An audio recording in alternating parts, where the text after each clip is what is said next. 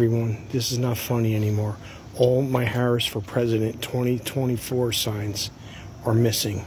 And now I come out and I find out they had egged my car, my Jeep. Someone had egged it. I know I'm the only Harris fan on this whole street. Everybody is a freaking Trump supporter. It's ridiculous. Wait till you see what my car looks like. They egged it. Okay, here you go. Can you believe it?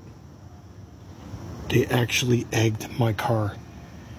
And I think, oh, here comes my neighbor now. Good morning, my neighbors! Hey, fuck you! Yes! Yes! Fuck you too! Unbelievable. Can you believe he actually has the nerve to say good morning to me? He can go scratch. Damn Trump lover.